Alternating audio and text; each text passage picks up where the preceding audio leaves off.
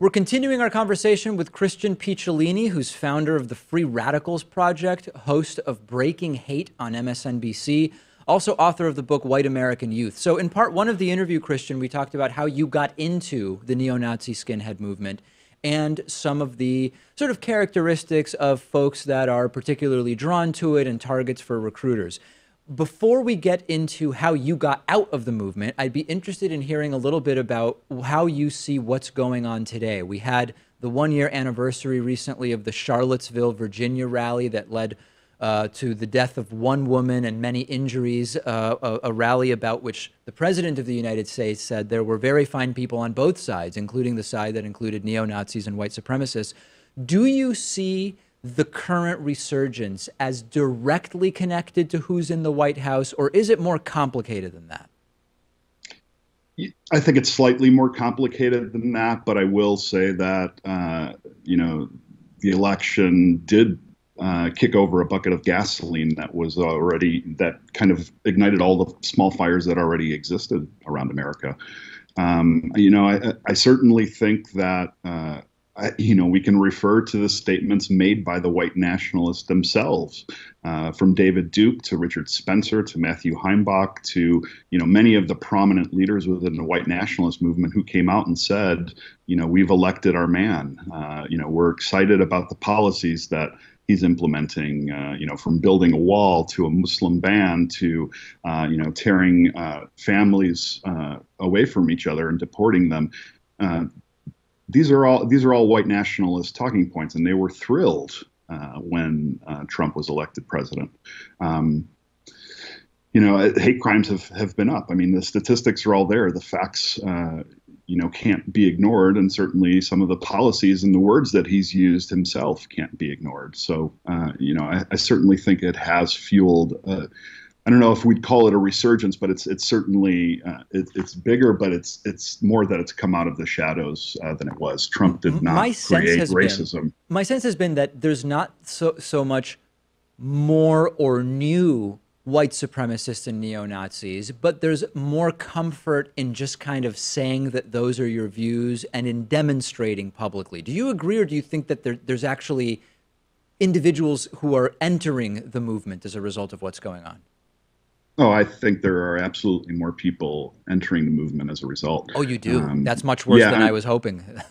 well, well, you know the tactics have changed and the platforms uh, with which they they reach people have have changed. So I think the internet is really uh, it, it's kind of like my digital alley, right? Uh, you know, for so many young kids, you know, kids who feel marginalized rather than going to smoke pot in an alley like I did are now going to hang out in chat rooms and in forums and, and uh, you know, places like 4chan and Reddit.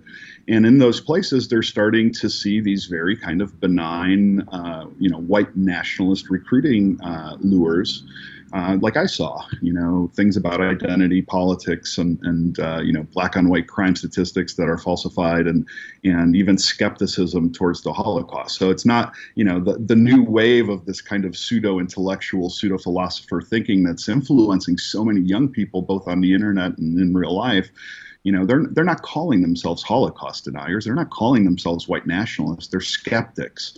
They're scientists. Uh, they're philosophers who are just searching for the truth, and that's the way they hide.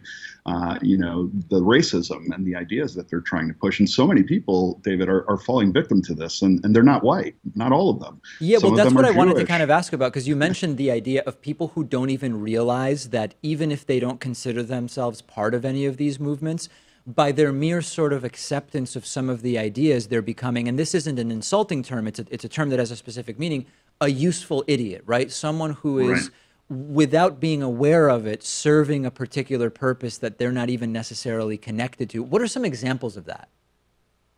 Well, yeah, no, I mean, I think useful idiot is a really great way to put it. It's an intelligence term that means somebody's been compromised without really their knowledge, uh, and they're being put to use uh, without knowing what they're doing.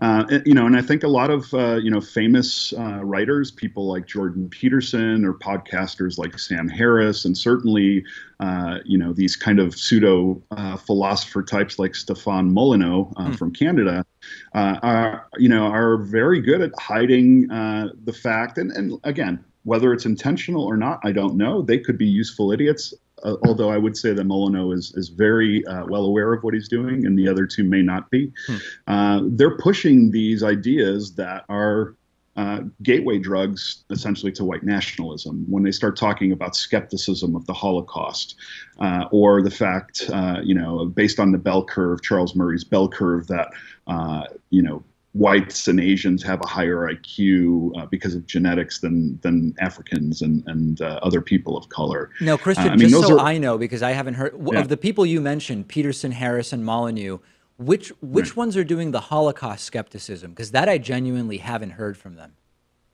So Stefan Molyneux has several videos um, where he's talked about it, where he's, you know, he's freight. I mean, he's from Canada too, so he has to be very specific about what he can and can't say about the Holocaust because uh, denying it there is part of their hate speech laws, and he can mm. be arrested. Uh, but you know, he's he's towed the line. He's come to it and, and posed the question. Uh, you know, did did it? You know, I'm not quoting, uh, but did it happen? You know, he, he kind of elicits people to think on it kind of with the notion that perhaps it didn't. Wow. Um, you know, I, I, can't tell you how many parents uh, I get emails from that say, you know, I've lost my son or my daughter to Stefan Molyneux. Uh, you know, there was a point where he was uh, encouraging his his millions of followers uh, to defoo their parents, and defoo stands for to uh, to remove yourself from your family of origin. Yeah. Uh, because he he thought that that you know parents were inherently uh, you know awful uh, for the development of children. I suspect he probably had a really bad situation you know in his childhood that made made him believe that. But certainly, I would I would argue that you know parents are not awful for children unless the parents are awful people.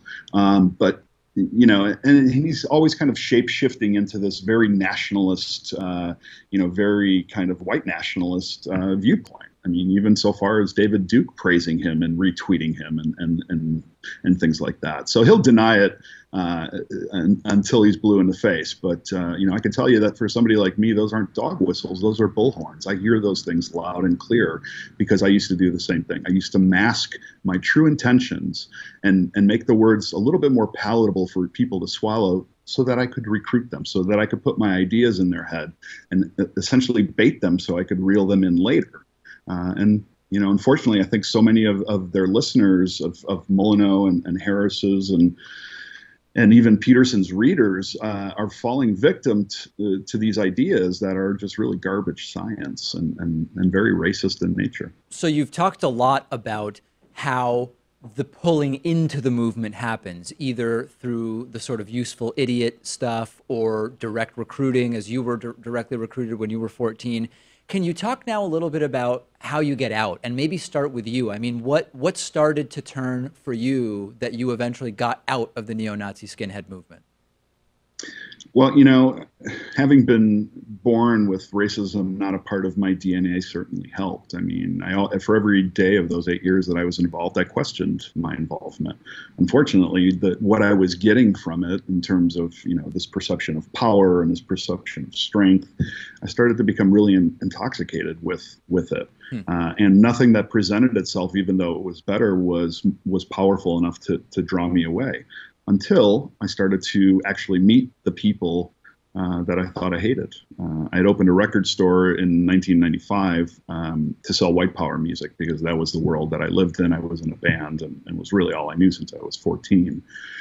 And uh, but I also sold hip hop and punk rock and heavy metal to make ends meet. And you know, I started to meet African American people and Jewish people and gay people and Muslims, and and all of a sudden uh, not all of a sudden, but you know, over time at the store, I had to deal with these customers, and I began to realize that you know I had much more in common with them than I did with the people I'd surrounded myself with to boost my own ego. Uh, and it was really the compassion that these people showed me, even though they knew exactly who I was and what I was about and what I was selling in my store. They came in and chose to treat me with compassion Hmm. Uh, and it was the compassion that I received from them, when, uh, you know, the people I least deserved it from when I least deserved it. I think that was my most powerful uh, catalyst for change. I just couldn't reconcile my prejudice, the demonization that I had for these people now that I'd met them and had a meaningful engagement with them was destroyed and it became, you know, it turned into humanization and I just couldn't deny um, the truth anymore. So I, and did you, know, you I eventually talk about, did you talk about that with the other neo-Nazi skinhead people that you were around? Did you say, you know, I'm starting to kind of question, or, or was that was that an internal dialogue exclusively? Oh, it was internal uh, because you know there was always a fear of of seeming weak or being vulnerable uh, mm-hmm. within the movement. You know, it, it wasn't something that wasn't something that most people did. Uh, you know, you're talking about a bunch of uh, you know type A uh, alpha males or people you know or males who were trying to be that, and uh, you know talking about your feelings and, and your emotions wasn't always a good thing unless it was about anger and violence. Uh, so I struggled with it internally. Actually, you know, I struggled it for the last two years I was in the movement and I still couldn't leave, uh, even though I was, uh, you know, it was devastating me. Uh, devastating me so much that I lost my wife and my children because of it, because I didn't leave the movement fast enough for them. Uh, they were never involved. Uh, and you know the lure of this kind of identity, community, and purpose that I had found in the movement was was too strong and I didn't have the courage to, to walk away until, you know, I hit rock bottom and then uh, I really had no choice. And when you do that, is it a clean break? Is there, I mean, is it easy to leave? Uh, I, I don't, this isn't, this is a poor analogy, but we've interviewed a lot of former Scientologists who say, you don't just leave, right? Like, I mean, there's physical right. things keeping you there. There are financial things keeping you there, uh, et cetera. Can you just say, I'm out and that's it? Yeah, I wish it were that easy, but it's not. Uh, you know, everything that I had was invested in that movement. Uh, you know, much like the story of the Scientologists, and really, you know, becoming a neo-Nazi or becoming a, a part of a white supremacist movement is really not that different than a cult, or the Islamic State, or a gang, uh, or a sports team, or a religious group. I mean, it, it, it was the same type of draw. It was that you know sense of belonging, the sense of this is who I am, and, and this is what I'm supposed to do with my life. Um, so it was very difficult uh, to walk away from that because it was really everything that I had ever known, uh, and I had nothing to go back to. And the threat of you know leaving, certainly the physical violence was always there, but also the threat of not being accepted by uh, you know everybody else once you left was was always a big threat. Mm. You know, like drug users, maybe it's sometimes just easier to go back. Uh, and for many people, it, that's what happens, unfortunately, if we don't replace it with a new identity, community, and, and purpose. Uh, and frankly, my struggle getting out, which I, you know, I had to, uh, I, I, had to question myself for many years. I had to do a lot of soul searching. I had to make amends and seek forgiveness. Uh, when I eventually found the courage to tell my story, uh, was a long process, and, and, it's precisely the reason why I, I founded uh, the original organization, uh, Life After Hate, and also now Free Radicals Project, was to actually help people go through that that transition, and then it kind of morphed into proactively, uh, you know, inserting ourselves to try and get people to disengage. Last thing I want to touch on in the time we have left, um, there's sort of, uh, I guess, to use an analogy, there's retail and wholesale strategies for getting people out of the movement. So Daryl Davis, for example, who we've interviewed several times, who's awesome, he has more of like a retail approach where he will go and individually hang out with KKK members and other neo-Nazis, etc. The Southern Poverty Law Center has what they consider to be more of like a wholesale approach where they are trying to dismantle the groups from the top down given all options, do you have strong feelings about what the most effective way is to disrupt or take apart these groups? Well, I think uh, both strategies are important. I think we do need to, you know, have a wholesale or a preventative strategy, uh, but we also have to, to, you know, treat the illness uh, patient by patient. It's almost like polio, right? Uh, you know, we have to treat sick people, uh, which is what Daryl and I do to a large degree. Um, but we also have to inoculate the population from getting sick, which is in large part what groups like the SPLC or the Anti Defamation League or many of these other um, uh, groups that are, are countering hate do. Uh, and I kind of do a little bit of both. So my goal is really to educate people, um, you know, through different mechanisms like my talks, the TV show Breaking Hate. Uh, to be able to show people what they can do, uh, because I know that you know people like me and Daryl are are far and, and few between. Um, but that we also can uh, that we can destroy this type of interpersonal racism. Now, I'm not talking about systemic or institutional because that's a whole other thing that we need to tackle as well if we want to see racism go away. But as far as interpersonal racism, Um, you know, this is something everybody can do so long as we can start to understand that ideology is not what is radicalizing people. Uh, the pre radicalization happens from the day we're born and it continues through every situation that we have until that extremist group presents itself, at which point we're radicalized.